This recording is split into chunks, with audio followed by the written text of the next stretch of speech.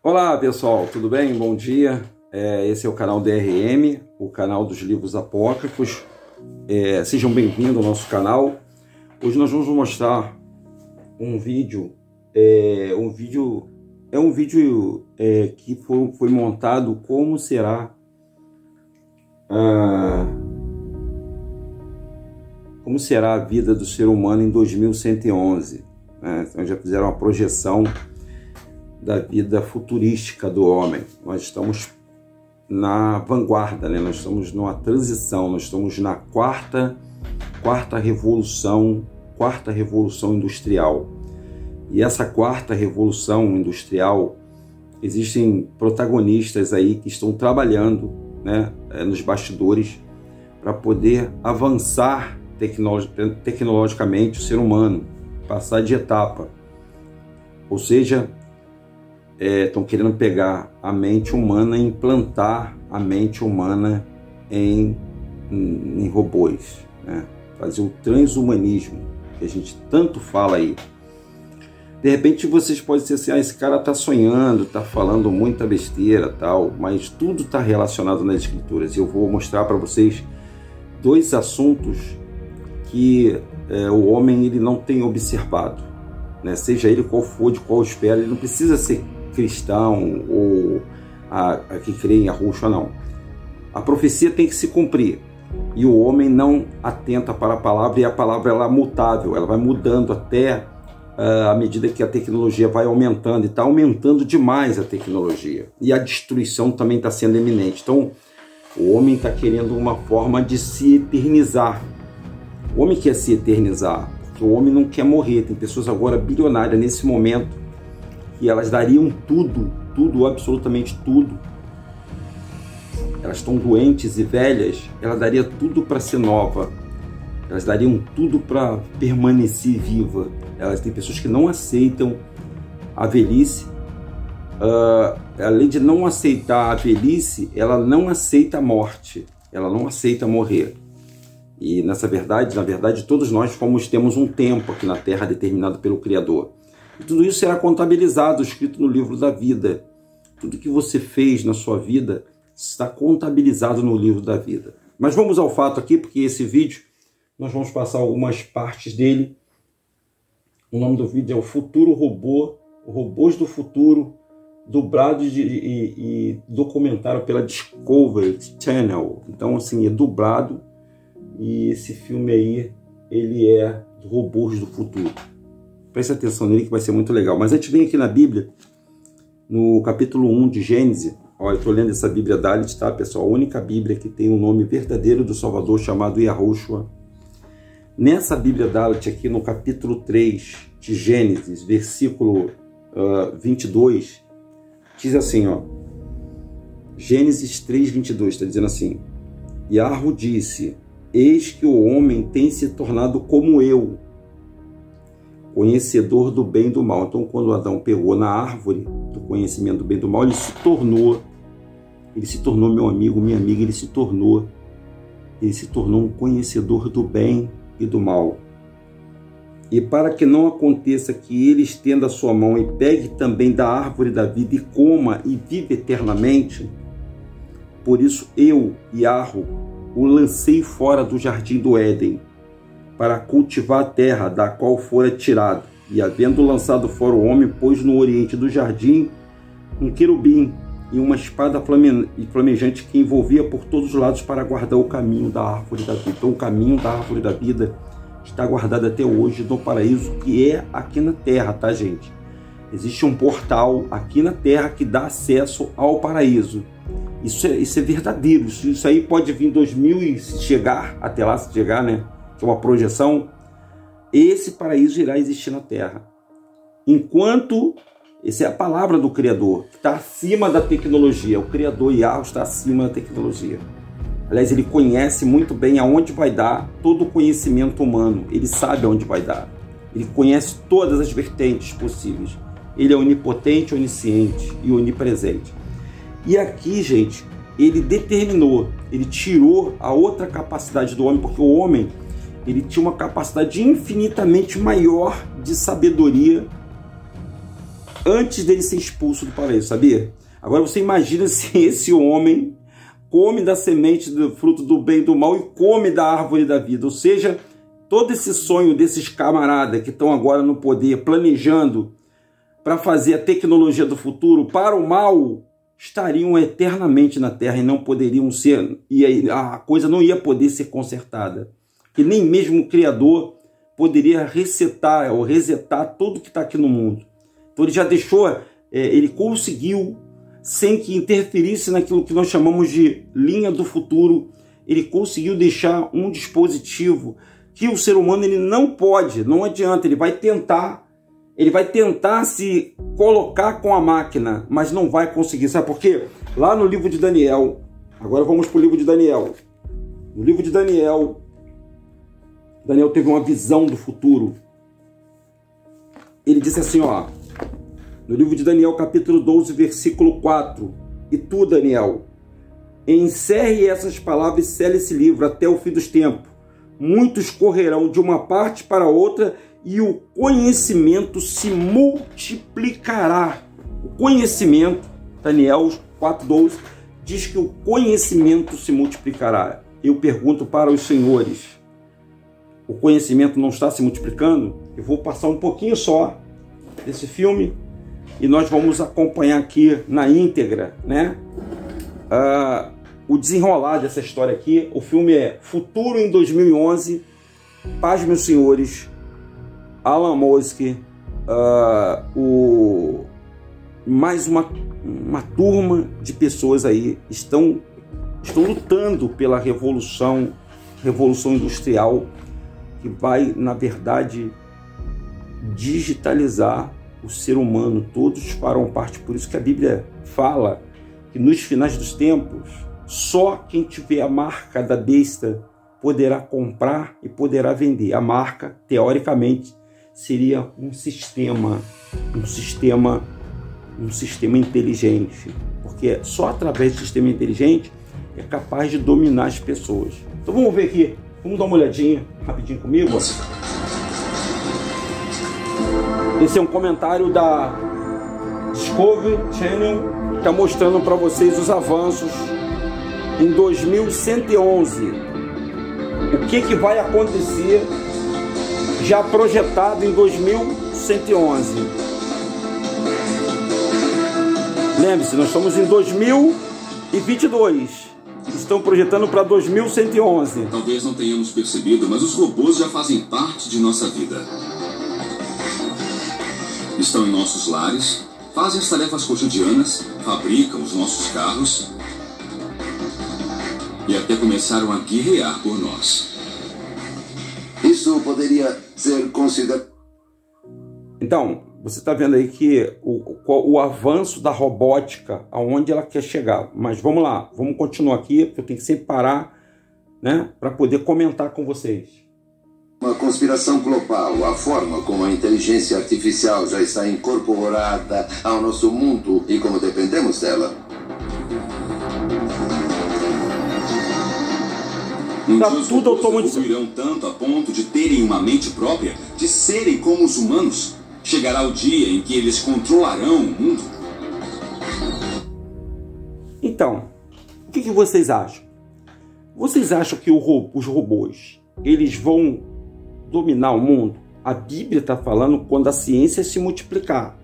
O pai falou, proibiu, o pai tirou o homem do paraíso, porque no paraíso o homem poderia se eternizar. Você imagina com a semente do bem e do mal dentro dele, com a maldade, porque o que contaminou o homem foi a maldade, gente.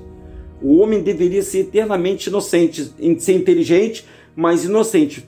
Você pode ver hoje, por exemplo, quando a pessoa ela é muito boa, quando a pessoa é muito muito legal, muito correta, ela é taxada como otária, como, como boba.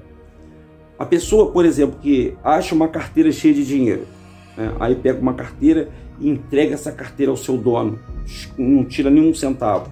Todo mundo fala assim, ah, é muito babaca mesmo. Eu já falei isso muitas vezes, eu, Denilson. Ah, eu tiraria o dinheiro todo e entregaria os documentos. É correto isso? Achado não é roubado? Você acha que achado não é roubado? Você já deu um, uma lida na Constituição, no Código, no, no Código Penal, né, o Código Penal brasileiro, você já deu uma lida lá para saber se achado não é roubado? Se você, a partir do momento, começa a tirar, você acha algum. Olha só como é que o negócio é muito sério, gente. E o que, que isso tem a ver, Denilson, com o que você está falando? Estou falando do estado de inocência. A inocência da pessoa, por exemplo, em querer sacanear o companheiro, tá lá casado lá, o marido e a mulher. Aí, ou ambos, ou o marido ou a mulher cisma de trair. Por exemplo, nós vimos o caso agora, há pouco tempo, do mendigo. O mendigo foi lá, teve relação com uma mulher, né, uma mulher afeiçoada, uma mulher, né, teoricamente esposa de um, de um personal trainer. Então ele se projetou e aí todo mundo pensando que ele era mendigo, pobre, aí depois foi puxar a ficha do camarada, o camarada já foi dono de empresa, já botou muita gente desempregada, tem uma ficha. Então você pode perceber, gente, que é a maldade das pessoas. Tanto a maldade de quem filmou, né, de quem viralizou isso aí, porque a, a maldade dele queria ganhar o dinheiro, e a maldade de quem fez aquilo ali. E agora o mendigo se tornou uma celebridade e está querendo sair até deputado. Isso é uma matéria aí falando sobre isso. Então, é, isso é só um dos exemplos, pessoal. Os exemplos dentro de casa, o exemplo no trabalho, de puxar o tapete do outro amigo no trabalho. Pô, como tem, gente? Pessoa pilantra, que arma selada, isso tudo é o aumento da maldade. Isso não iria ver com Adão. Enfim, Adão ia ficar feliz com. Se, se tudo corresse direitinho, ia ficar feliz, por exemplo, hoje, se um filho se desse bem, se um pai tivesse uma herança, tivesse prestes a morrer, porque o homem ia morrer, tá, pessoal? Se ele não quisesse mais comer o fruto da árvore da vida, porque não iria ser assim, desse jeito como nós estamos vivendo. Não iria ser dessa maneira. Bom, mas vamos lá, vamos continuar com o documentário, tá falando sobre a inteligência artificial. Vamos lá. Vamos ver. Nesta viagem contarei com futurólogos, especialistas que se dedicam a predizer como a tecnologia nos afetará no futuro. Nós não percebemos como a inteligência artificial já move grande parte da nossa civilização. Daqui a 10 anos, 20 ou até 100 anos, eles vão fazer parte da nossa vida de muitas, muitas formas. E ninguém vai se surpreender quando vir um ciborgue do seu lado.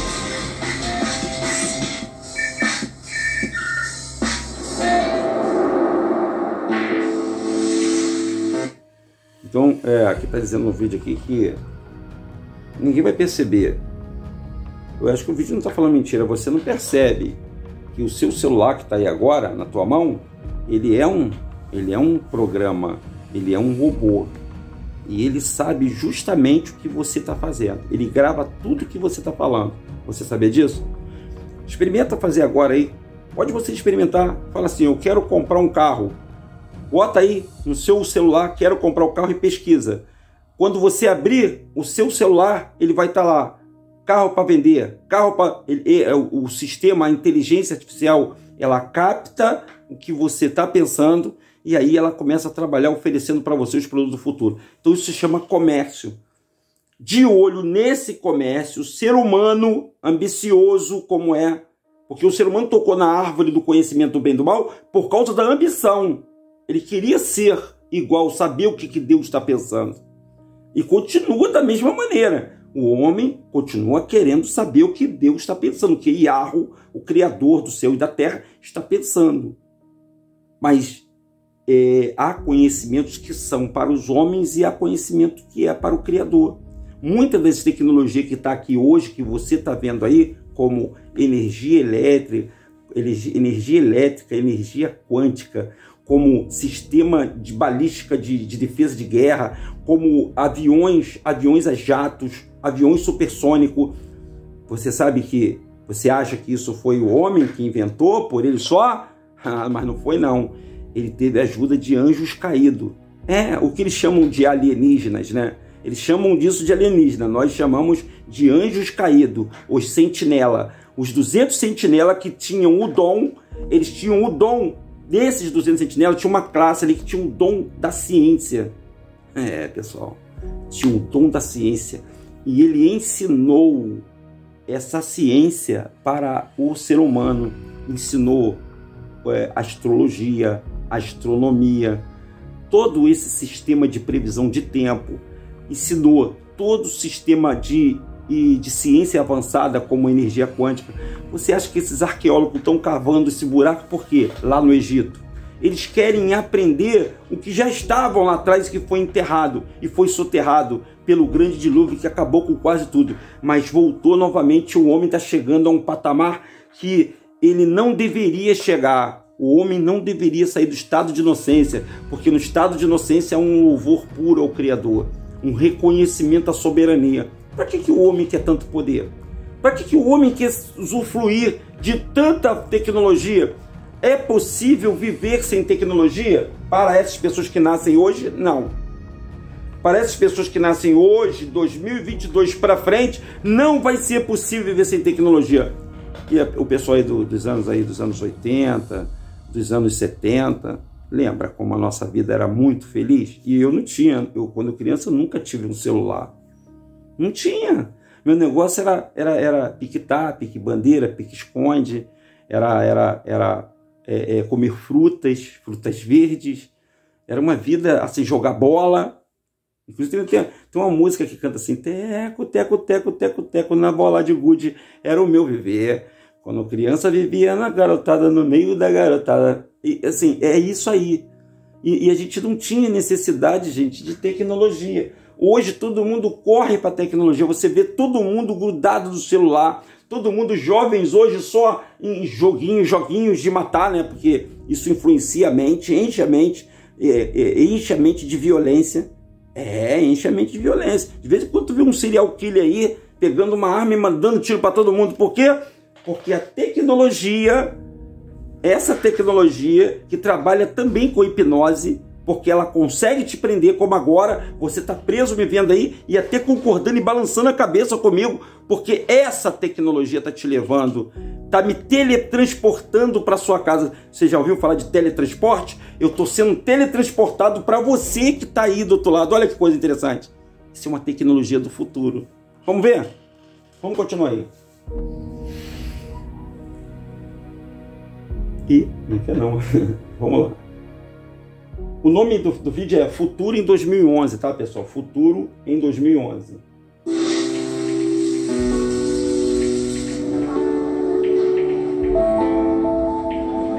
Meu primeiro destino é a cidade do México, para ver uma competição na qual os humanos ainda são os melhores: o futebol.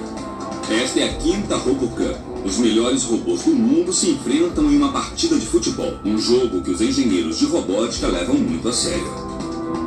Cientistas acreditam que em 2050, uma equipe de robôs humanoides jogará contra o último campeão da Copa do Mundo. E os robôs irão ganhar. Um dos favoritos do ano é o Dot Max, um time de robôs de 60 centímetros que disputa o título pela quinta vez consecutiva. Senhores estão vendo aí, gente? Senhores estão os senhores estão imaginando, olha só, eu falei ontem na live que os homens seriam substituídos pelas máquinas. Falei que eles iam ser substituídos pelas máquinas, né? Cadê o dedo aqui? Ia ser substituído pelas máquinas, falei. Falei que os homens iam ser substituídos pelas máquinas. E que as profissões do futuro, que todo mundo, ao galo cantando, ele sempre canta. Como profissão como juiz, advogados, médicos, engenheiros, está com os dias contados está com os dias contados, senhores. Policiais, vocês estão com os seus dias contados. Isso é muito. Eu não acredito nisso, não. Então é para você não acreditar mesmo, não. É para você ver com seus olhos o que está acontecendo agora, gente. Está acontecendo. Isso aí não é mentira. A escritura não mente, pessoal. E essa mesma tecnologia, futuramente, lá no futuro, talvez alguém lá no futuro vai ver esse vídeo meu. Alguém vai achar esse vídeo meu e vai falar assim: caraca, maluco esse cara é o que? Era Nostradamus? Esse cara era, era Babamanga? Nada disso. O Criador, ele não apoia os adivinhos. Ele não deu essa autonomia para as pessoas saberem o futuro. Ué, como eles sabem, Denilson, que vai acontecer? Projeção. Aí existe uma outra coisa que a gente pode falar num outro dia sobre uh, o que, que a sociedade do mal fazem para levar as pessoas a terem acreditarem, né? Os, os efeitos que ela faz e o próprio diabo que faz para enganar as pessoas. Nem ele sabe o futuro deles. Não, ele já sabe já que eles vão ser condenados. Isso ele já sabe. Vamos lá? Vamos acabar de ler isso aqui, ver isso aí. O líder humano do time é o Dr. Juan Manuel Ibarra, que está muito confiante. O que o senhor considera um bom robô? Consideramos que um robô é bom quando pode realizar um mínimo de funções, como os movimentos de chutar a bola, levantar e cair, andar e correr de frente, de costas e de lado. Para executar tais movimentos básicos no futebol, os robôs jogadores contam com uma tecnologia impressionante. Câmeras USB para visão, um computador, acelerômetro e giroscópio para os senhores estão vendo isso? Vocês estão vendo isso, gente? Vocês estão acompanhando? Sério, de verdade, vocês estão vendo isso aí acontecer? Vocês estão vendo isso acontecer? Isso não é história, gente. Ó, coloca aí, ó. Futuros em 2111 robô. Pode colocar o vídeo aí para você ver. Então, pessoal, eu vou encerrar aqui. Eu não vou. Eu quero que vocês vejam. Já estamos com 20 minutos. É um vídeo ilustrativo, né? É um vídeo que nós estamos ilustrando para os senhores o que está esperando a gente ali no futuro. E o que, que a gente pode fazer para a gente é, não cair no laço do passarinheiro. Isso aí, para os evangélicos, é laço do passarinheiro, tá? É, existe uma inteligência que ela já está trabalhando, tá? Ela está trabalhando e trabalhando firme, ela não dorme. Ela te vê de dia e de noite. E ela está aprendendo, ela é uma criança. Ela está aprendendo ela está aprendendo. E essa tecnologia ela pode ser influenciada para o mal? Sim, ela pode ser influenciada pelo mal. Ela pode ser influenciada para o mal e ela pode sim atacar os seres humanos. Veja o filme Eu, Robô, que também é um filme muito bom. Vocês podem ver com Will Smith, que é muito legal.